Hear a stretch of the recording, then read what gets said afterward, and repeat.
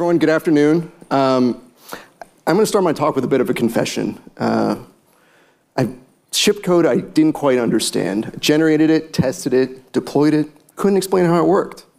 And here's the thing though, I'm willing to bet every one of you have too.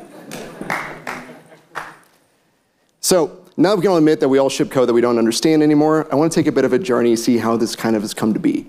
First, look back in history. We see that history tends to repeat itself. Second, we've fallen into a bit of a trap. We've confused easy with simple. Lastly, there is a fix, but it requires us not to outsource our thinking.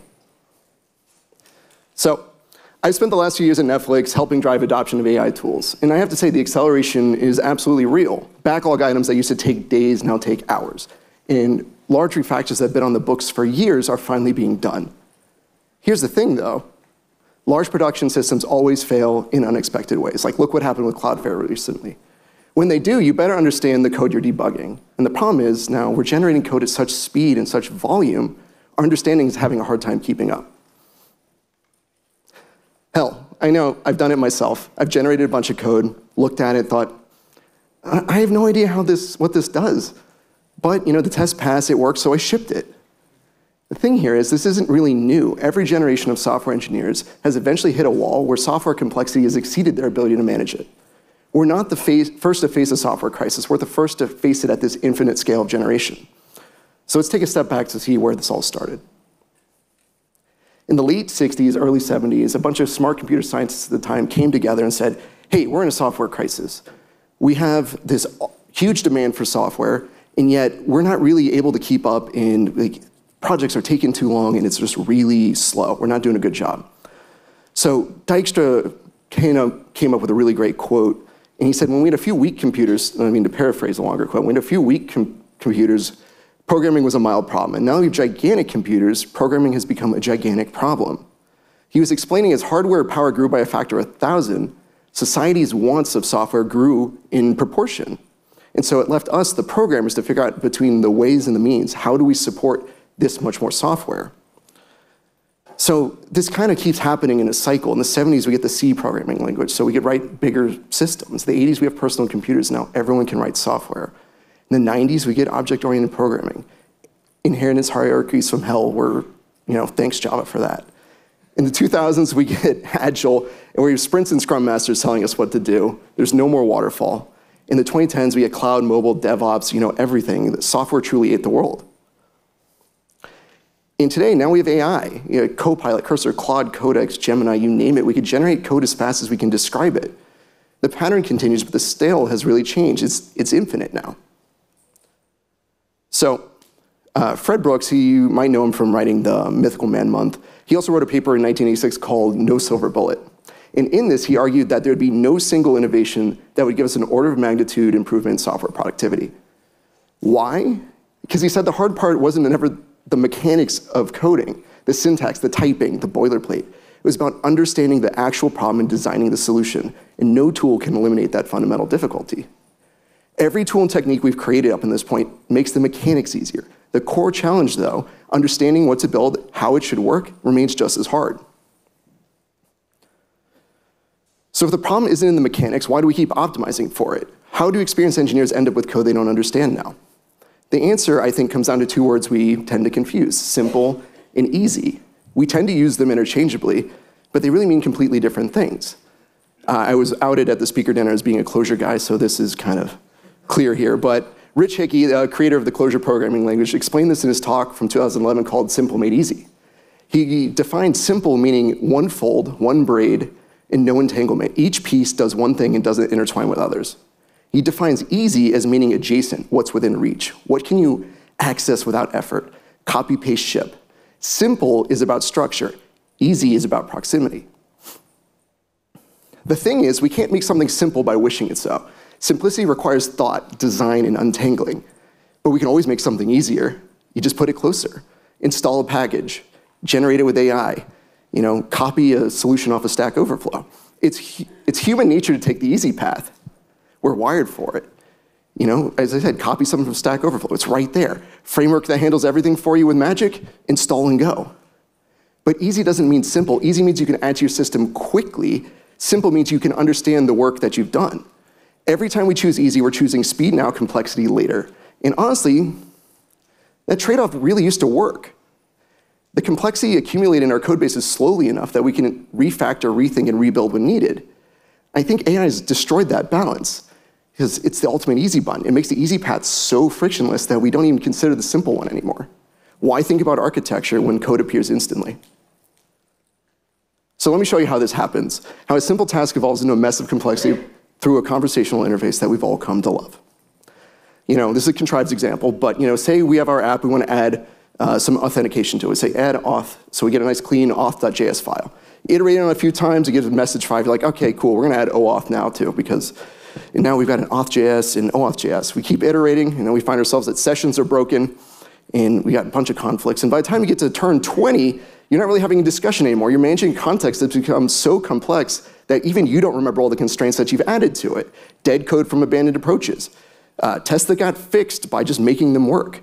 You know, fragments of three different solutions because you kept saying, wait, actually. Each new instruction is overriding architectural patterns. We said make the auth work here, it did. When we said fix this error, it did. There's no resistance to bad architectural decisions. The code just morphs to satisfy your latest request. Each interaction is choosing easy over simple, and easy always means more complexity. We know better, but when the easy path is just this easy, we take it, and complexity is going to compound until it's too late. AI really takes easy to its logical extreme. Decide what you want, get code instantly. But here's the danger in that. The generated code treats every pattern in your code base the same. You know, when an agent analyzes your code base, every line becomes a pattern to preserve. The authentication check on line 47, that's a pattern. That weird gRPC code that's acting like GraphQL that I may have added in 2019, that's also a pattern. Technical debt doesn't register as debt, it's just more code. The real problem here is complexity. I know I've been saying that word a bunch in this talk without really defining it, but the best way to think about it is it's the opposite of simplicity. It just means intertwined. And when things are complex, everything touches everything else. You can't change one thing without affecting 10 others. So back to Fred Brooks's No Silver Bullet paper. In it, he identified that there's two main types of complexity in every system. There's the essential complexity, which is really the fundamental difficulty of the actual problem you're trying to solve. Users need to pay for things, Orders must be fulfilled. This is the complexity of why your software system exists in the first place. And then second, there's this idea of accidental complexity. Everything else we've added along the way. Workarounds, defensive code, frameworks, abstractions that made sense a while ago. It's all the stuff that we put together to make the code itself work.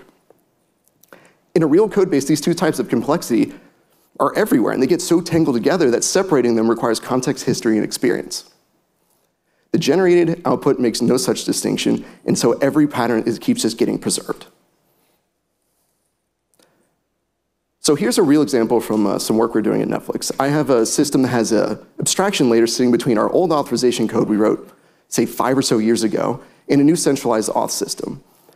We didn't have time to rebuild our whole app, so we just kind of put a shim in between. So now we have AI. This is a great opportunity to refactor our code to use the new system directly. Seems like a simple request, right? And no, it's like the old code was just so tightly coupled to its authorization patterns. Like we had permission checks woven through business logic, role assumptions baked into data models, and auth calls scattered across hundreds of files.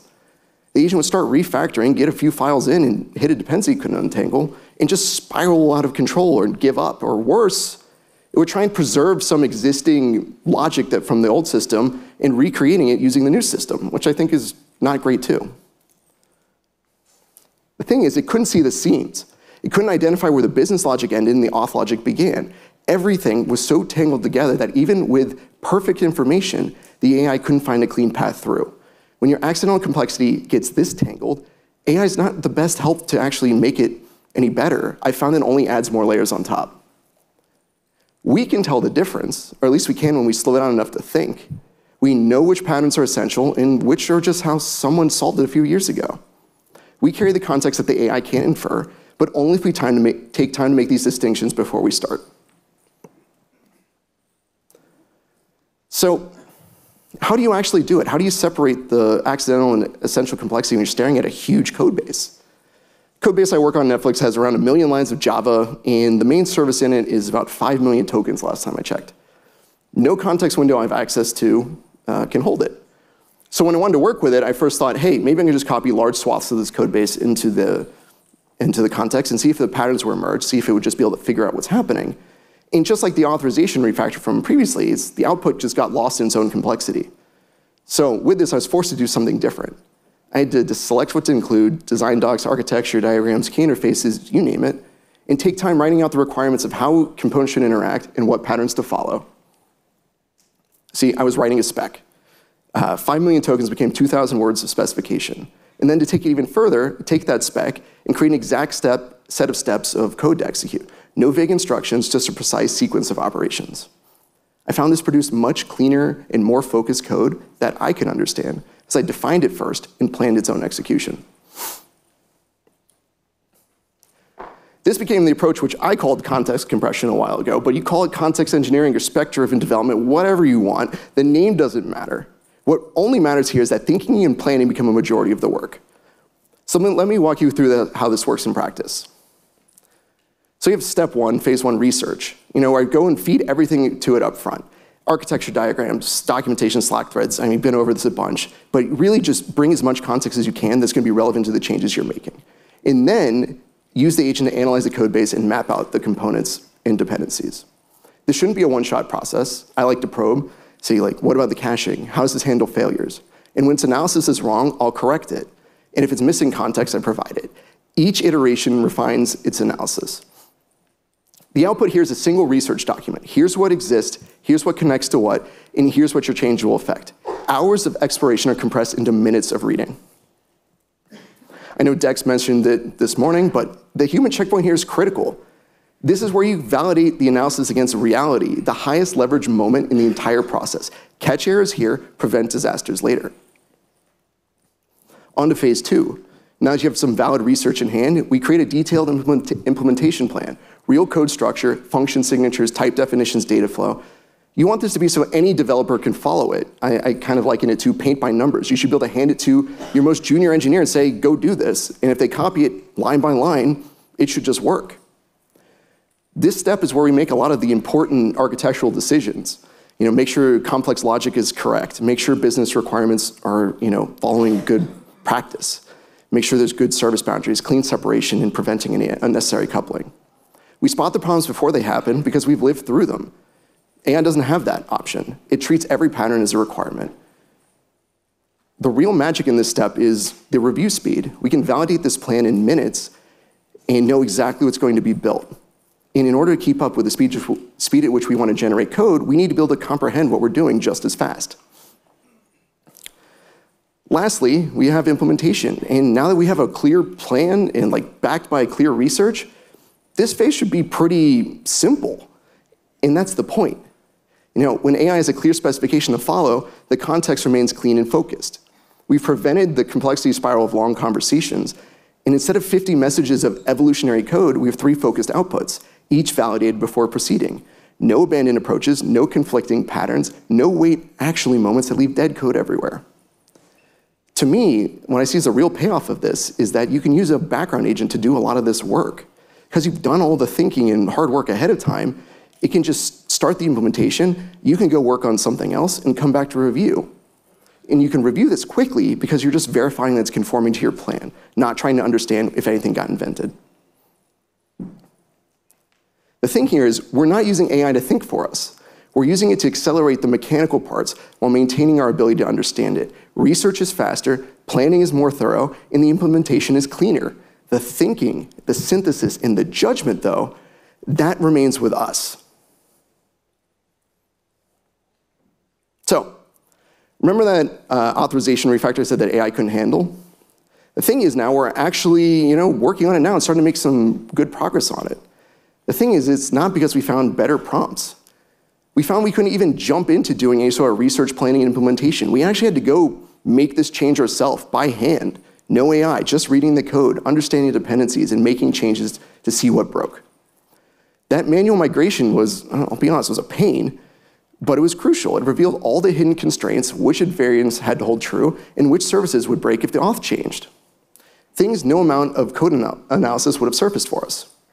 And then we fed that pull request of the actual manual migration into our research process and had it use that as the seed for any sort of research going forward. The AI could then see what a clean migration looks like.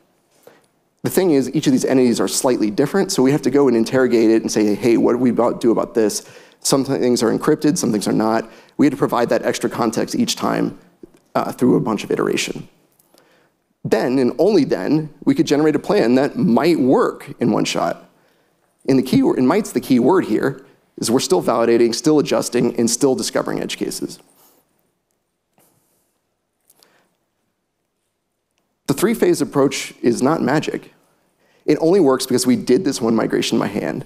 We had to earn the understanding before we can code into our process.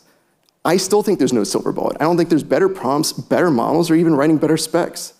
Just the work of understanding your system deeply enough that you can make changes to it safely.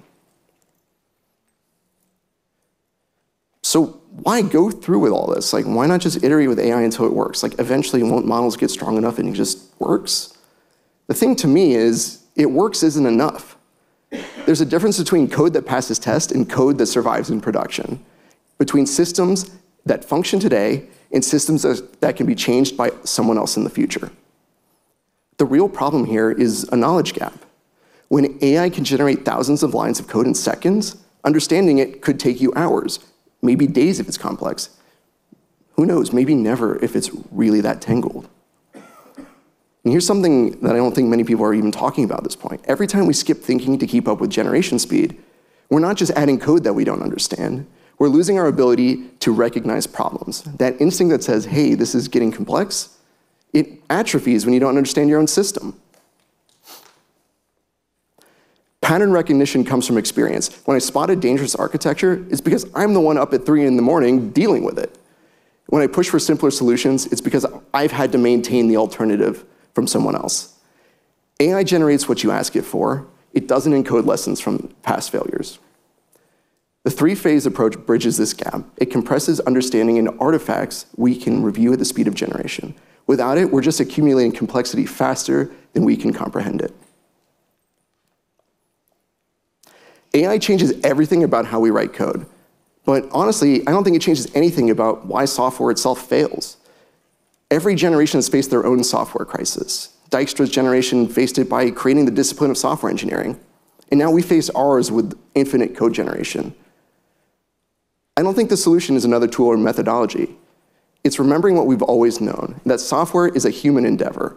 The hard part was never typing the code, it was knowing what to type in the first place. The developers who thrive won't just be the ones who generate the most code, They'll be the ones who understand what they're building, who can still see the seams, who can recognize that they're solving the wrong problem. That's still us. That will only be us. I want to leave on a question, and I don't think the question is whether or not we will use AI. That's a foregone conclusion. The ship has already sailed.